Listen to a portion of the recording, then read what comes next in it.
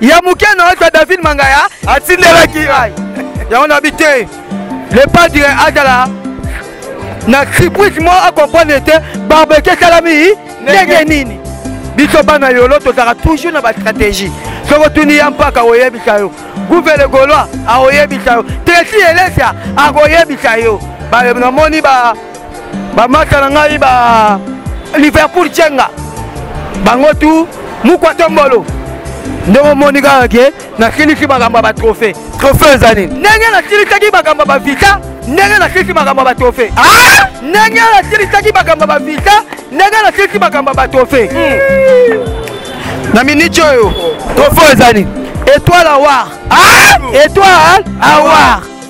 eleki soki ya fani atwaki ah, atika makambo tala awana eleki ya fani atwaki tala awana te ah! eleki oyo ya fani atwaki oyo omona ote kota badiama bakuivre kongo bakuivre kongo mokie oh. oyo barwandais babundelaka ah! yango ekoti mokie elakisi ke fere gol aza etoile etoile keke to bamilkikio bautoka batrophée trophée oyo eleki bango yango oyo na nini oh, eh. na bote na diamo eza na kati ete eh, fani akozwa trophée ah. trophée na bango ekaki ya war nga mpe mozaki ndingu na zwi awa Étoile Awa. Étoile Awa. 2023. 2023. Niekri. Année mona président Fatshi. Année mona chef de l'État. Si, si. Ça veut dire quoi? Mm.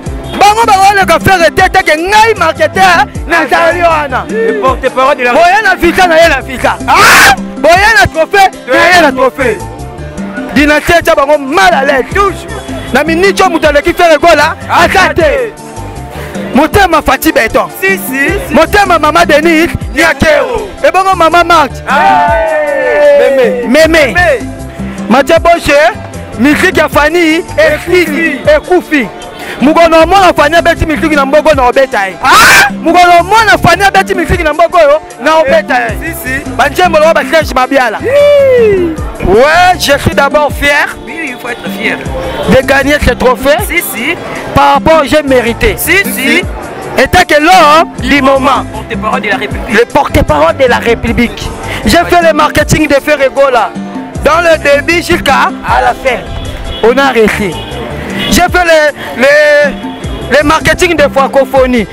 début jusqu'à la fin on a chassé Chakari ah! on a chassé Chachari et Israëla Israël lokuta na politique ndenge olobaki ndenge esalami wa mache bonje ndenge nayebisaki yo il aura à manger à boire et les transports avec les mégas où est le mal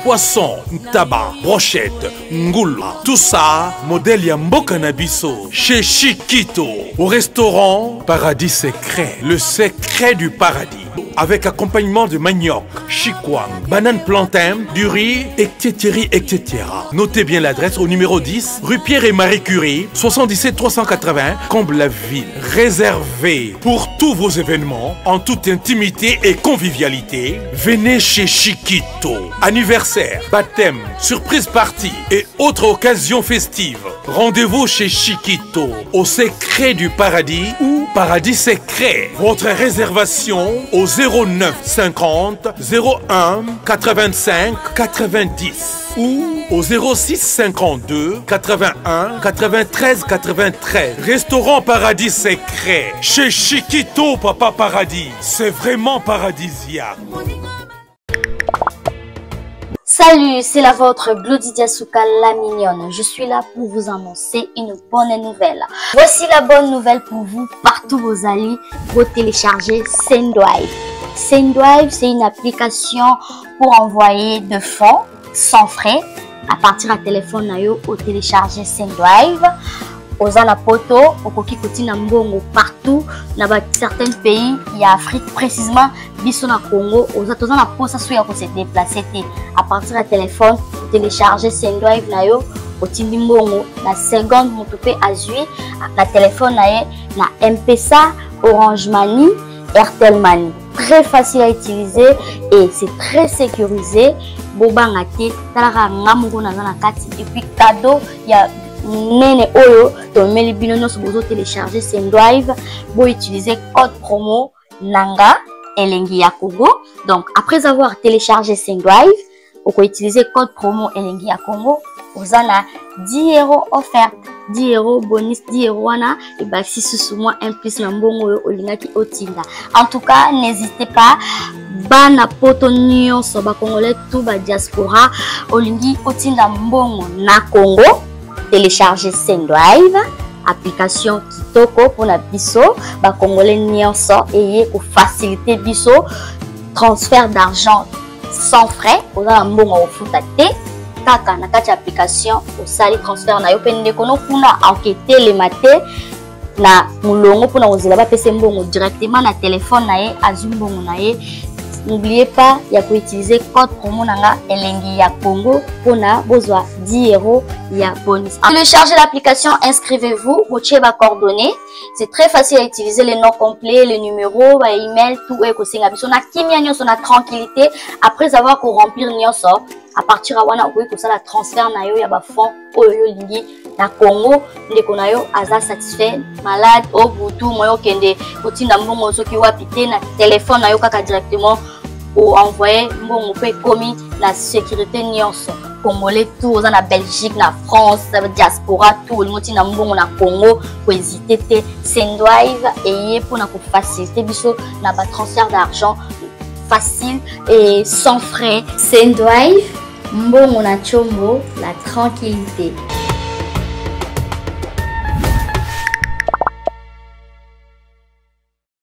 Sacerdoce jamais Erata. Alors c'est votre frère, prophète des nations, père de Israël.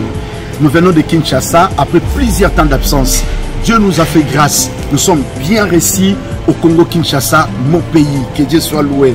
Alors, je voulais dire à une personne, nous sommes de retour en Europe avec force. Nous avons récupéré nos entités. Parce que je connais les dieux de Moussé Haïdi Nabal. Je connais les dieux de l'apôtre Bolia. Ce Dieu-là n'a jamais changé. Alors je voulais dire à une personne, tu as perdu tes années. C'est-à-dire tu as perdu tout ce que tu avais. Tu as perdu le mariage, tu as perdu ta santé, tu as perdu tes projets, tu as tout perdu. Mais je connais ce Dieu-là. Tu peux récupérer ce que tu as perdu. Si ton Dieu est mort, essaie un peu mon Dieu. Sacerdoce et Essaye un peu mon Dieu. Viens ce dimanche à Créteil. Invoie Félix Eboué ce dimanche. Tu verras ce que Dieu va faire. Mais avant de venir, essaie de nous contacter. Prends ce numéro. 0033 7 66 27 40 02. Appelle-moi avant de venir et tu verras ce que Dieu va faire. Sacerdoce sera rataraté Jamais rata. Sois béni. Toujours.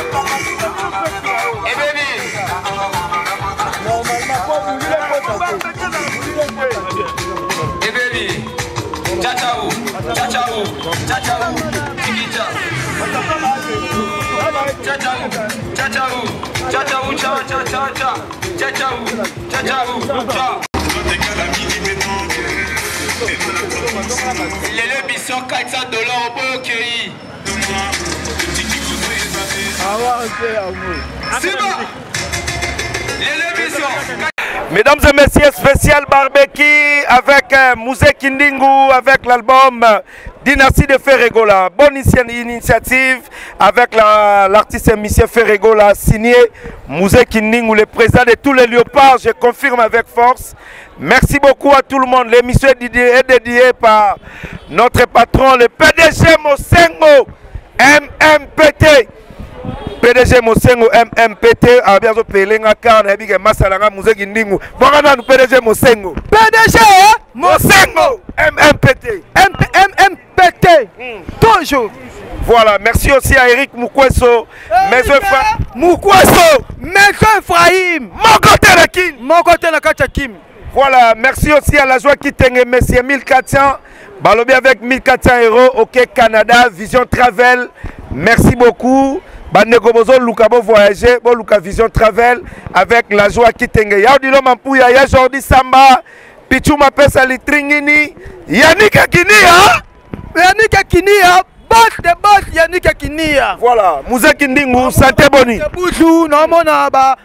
bijou ngulu na afrique du sud didie combo petit jésus na pasia ilolo karambongo makambo eza ndenge nini lelo we makambo eza kitoko deja yo momona bato bazoya deja mise en place etake fere gola alekaka bango fere gola aza ya mokolo ah! fere gola aza ya mokolo tala lelo babar nyonso okende babwati nyonso ozokende na batiktok na bafacebook toujours ouragan toujours banzembo lokola baroyaume des amoureux ah! ya ambassadeur vote esinga hmm. banzembo lokola ba el chapeau ya berado prince des amunda banzembo lokola ya charlie lapaja banzembolo oyo bamanik tibuk manik tibuk donc ferre gola alakisi bango il est grand parmi les grands na mboka oyo nano aloba na ferre na miziki na bango basambwe na bavisa na bango ya lokuta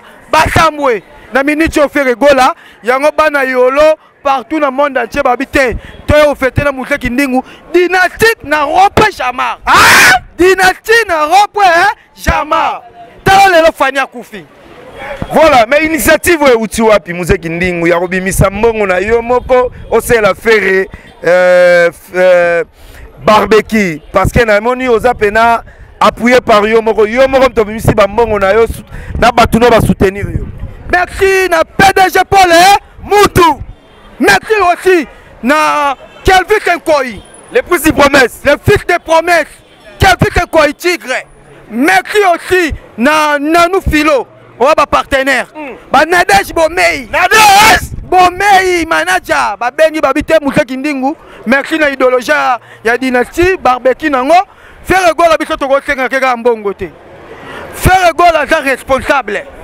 fere gola aza na famille aza na bana aza mpe na baleki etake ya biso ya moke tozo gagner ozo gagner mpe hey! ah! mama de simbambe bamama nie china nde bato loba bapatron jasi ekamba jasi ekamba babi moseki ndingu sala barbeki bamete bidoter mete ben bidoter donc oyo ya moke na oso ya mingi te ah! ya moke na oso fani tshisekedi atindelaki ngai ya moke na oso david mangaya atindelaki ngai yango nabi te le padre azala na surprise moko acomprendre te barbecue esalami ndenge nini biso bana yolo tozalaka toujours na bastratégie soki otuni ya mpaka oyebisa yo guvele golois akoyebisa yo tresi elesia akoyebisa yo namoni bamasa na ngai ba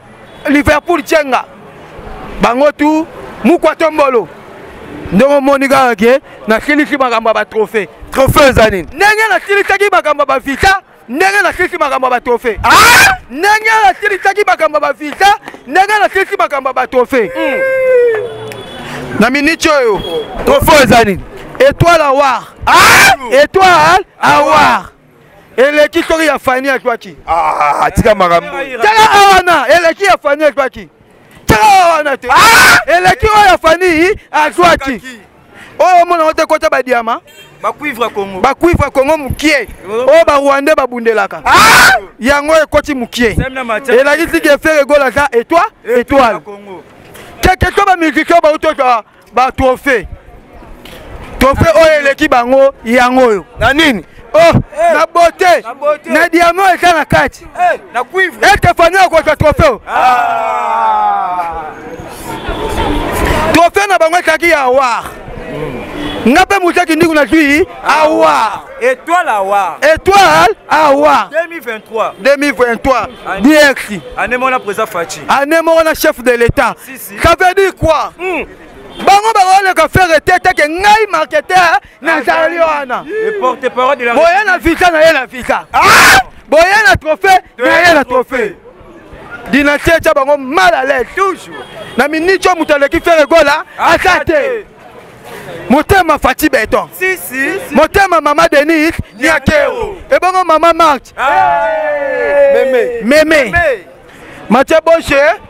miziki ya fani esili ekufi mokolo na omona fani abeti miziki na mboko na obeta ye ah! mokolo na omona fani abeti miziki na mboko oyo na ah, obeta ye banzembo lokola baserge mabiala ya teti mongo alinga yango tro yana mika mongo saja mboka presa mwala presa guerre de santa tala etoile awar eyo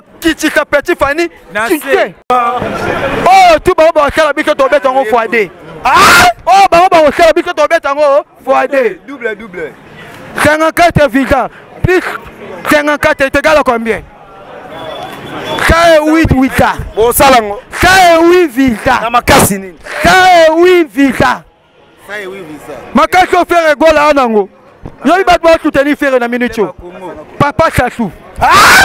faci beton mama march tshisekedi mama denise nyakeo tala famille présidentielle esoutenir fere mama toinette na brazzaville mama nto mama anto motema papa de yes denges bato wana bakutanaka fere eh, gola fere gola la le vite imana le vite imana katu dega lela vite imana eh. faca lela nde mama denis mama denis yake mama denis motema ya faci beton à partir ya lelo matie bonche kobetela ngai su makambo merci beaucoup muze gindingu odedi ye eh, trophée na banani bazotala mpo tosisi na biso odedi yango na banani je suis fier de gagner ce trophée si, si. en français en français j'ai commencé déjà en français ok ah, tokei tokei tu es fier oui ouais je suis d'abord fier oui, oui il faut être fier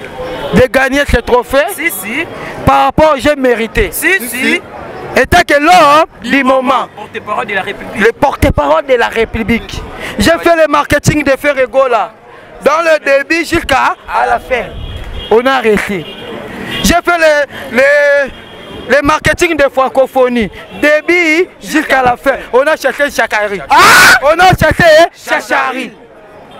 et il trahira il trahira lokuta na politique si à vous na bosani te bamasa tu batalaka biso numéro 1000 1020 avec euh, ye moko balobi trésor mputu ya gaga botri bolanga oyebi bafaire bien merci à komanda kusto motema ya tutungoi depuis londres akotala biso na bosani te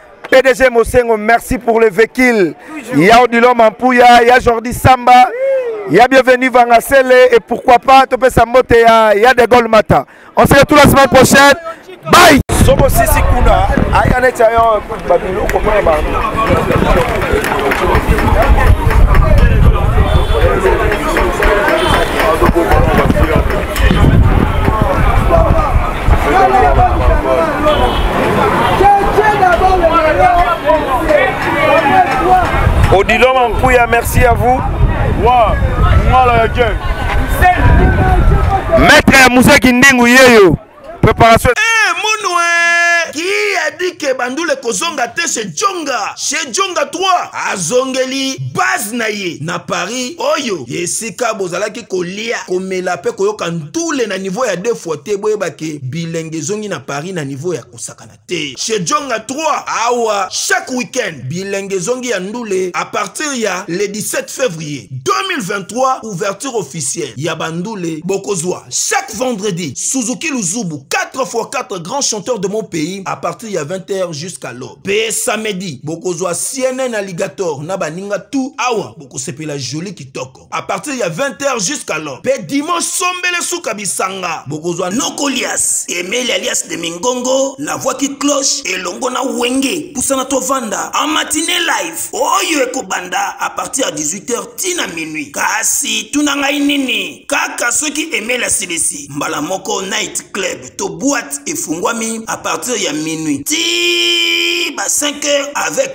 DJ Bobo oyo akosepelisa bino na bandule mpe na ambiance ya kitoko. Malolo. Oui frère, Babi Chonga.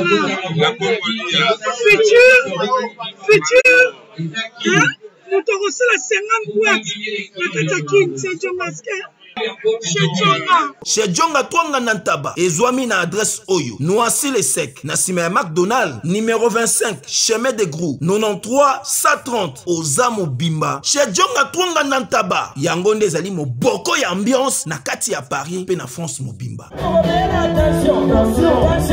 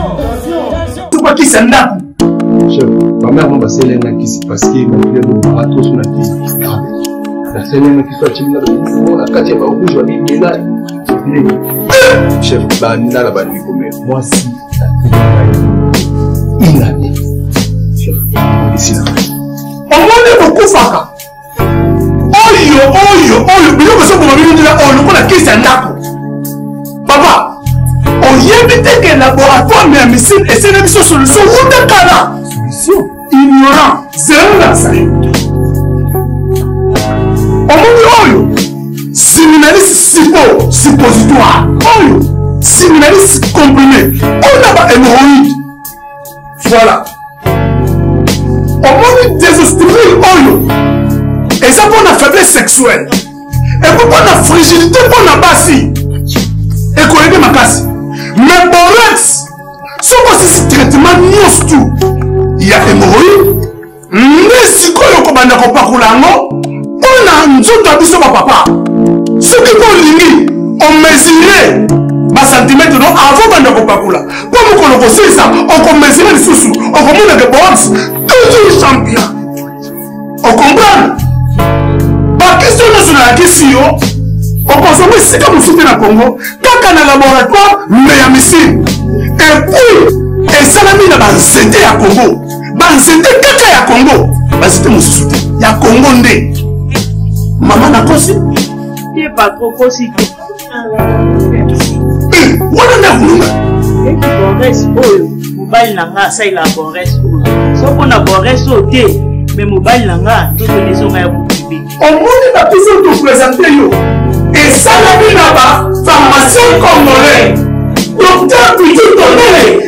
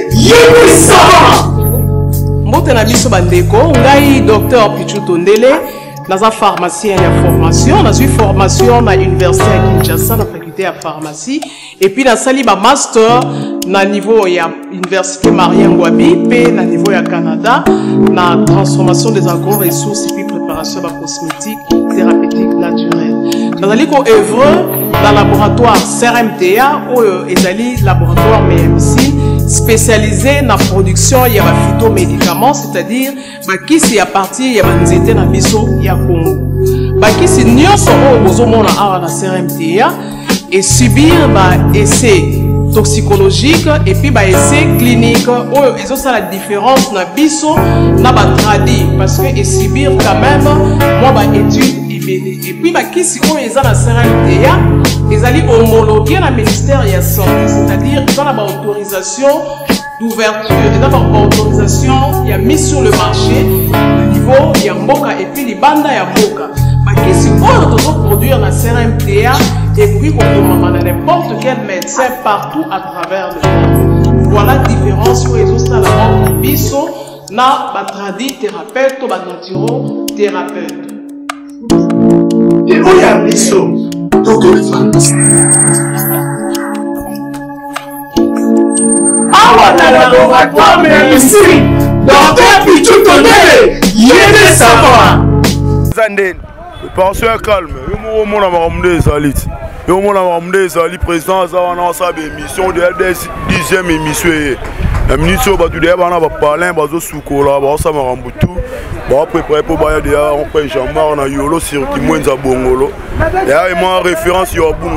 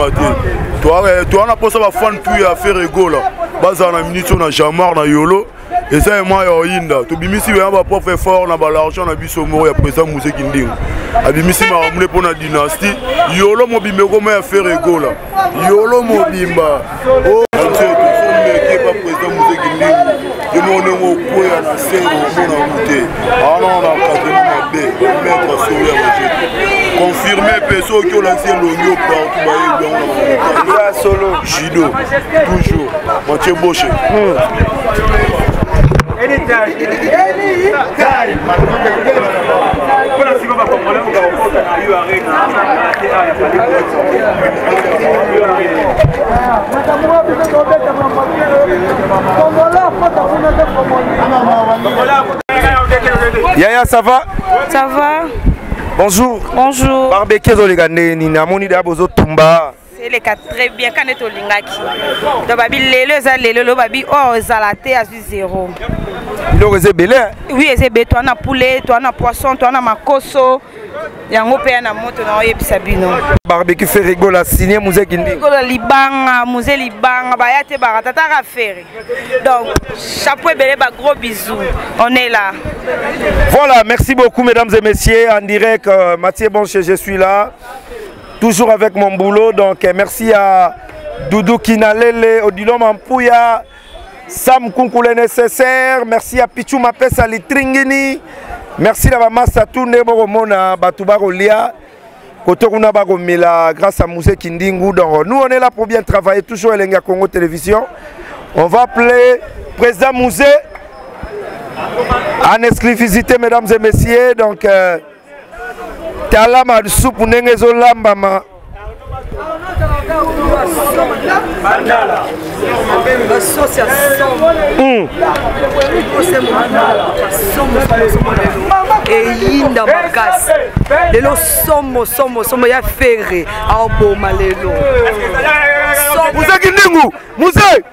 yaka nao na barbecue awa yaka nao pembeni prese musee vie ici nao vie d'abord vie s'il te plaît musee kindingu yaka place bazotumba bato bamona en exclusivité mesdames et messieurs